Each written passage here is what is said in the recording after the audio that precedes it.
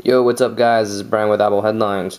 I'm going to show you guys how to force an iCloud backup in iOS 5 um, running an iPhone 4S, just so you know. And then um, basically, you know, obviously there's a lot of reasons why someone would want to do this. Maybe if you're swapping out devices, or maybe you're just one of those people that likes to know that this is the setup that you have backed up.